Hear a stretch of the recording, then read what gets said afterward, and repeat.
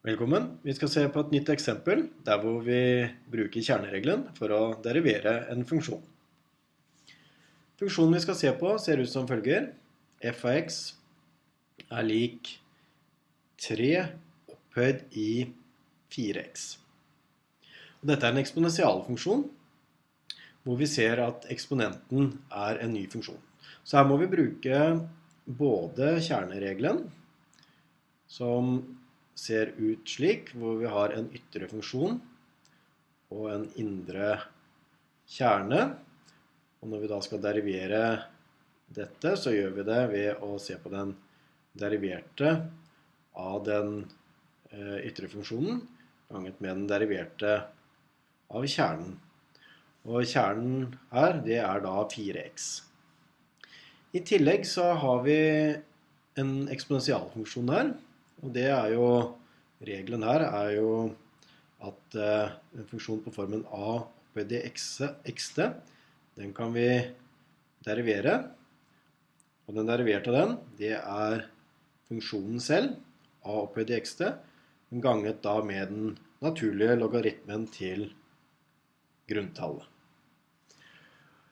Da tar vi en liten mellomregning her, og vi eh, identifiserer eh, den ytre funksjonen g av um, u. Og den er jo da 3 opphøyd i u. Og hvis vi da skal derivere den ytre funksjonen, g-derivert av u, så ser vi at det er funksjonen selv, 3 opphøyd i u, ganget logaritmen til grunntallet.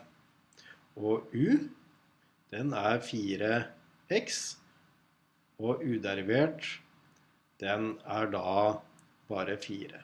Noen ganger så skriver man eh, u av x, men eh, like ofte så skriver man bare u. Det er vel litt sånn av bekvemmelighetshensyn. Ok, da kan vi sette inn i regelen for eh, kjerneregelen her sånn, og ser da at f-derivert av x, det må jo da være g-derivert av u. Den har vi her. Det er da 3 opphøyd i u, og u er 4x. 4x på den måten her. Og så skal vi da eh, gange med den naturlige logaritmen til grunntallet. Det er ln3. Da har vi på en måte tatt det første, første faktoren her i regelen. Så skal vi gange med uderivert av eh, x. Og den er jo da bare fire. Den deriverte av, av kjernen. Ja, eh, det er ikke så mye mer å gjøre her. Vi kan skrive opp det kanskje noe som det som litt penere. 4 ln 3 ganget med 3 opphøyd i 4x. Dette er da altså den deriverte av den funksjonen vi starta med her oppe.